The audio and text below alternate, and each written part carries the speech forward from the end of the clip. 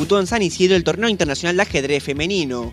Camila Colombo ganó el magistral 10 Reinas 2013 que se disputó entre las 10 mejores jugadoras de Sudamérica. El intendente Gustavo Pose asistió al evento y le entregó una distinción al gran maestro Scarpano. El magistral 10 Reinas es uno de los torneos más importantes de la región porque está avalado por la Federación Argentina de Ajedrez, es válido para el ranking mundial y además a las jugadoras les otorga normas de maestras internacionales. Nosotros hemos crecido mucho, mucho, mucho con la Liga Nacional Femenina que tiene sede acá en San Isidro eh, de manera prolongada.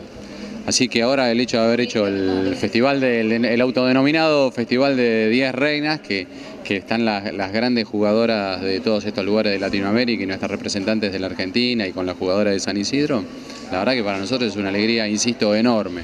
Con este triunfo, la ganadora Colombo participará en el Torneo Mundial de 2014. El segundo puesto fue para Marisa Suriel de Argentina, quien el año que viene jugará el Torneo Continental Panamericano. En tercer lugar, quedó la actual campeona argentina María Florencia Fernández. También participaron Carla Borda de Bolivia, Betaño Lozano de Uruguay, Natalia Silva de Uruguay, Denise Carraro de Argentina, Virginia Justo de Argentina, Nancy Flores de Argentina y Ana Clara Costa de Uruguay. Bueno, este es el único en Argentina este año y seguramente serán 3, 4 en todo Sudamérica como máximo que tiene estas condiciones.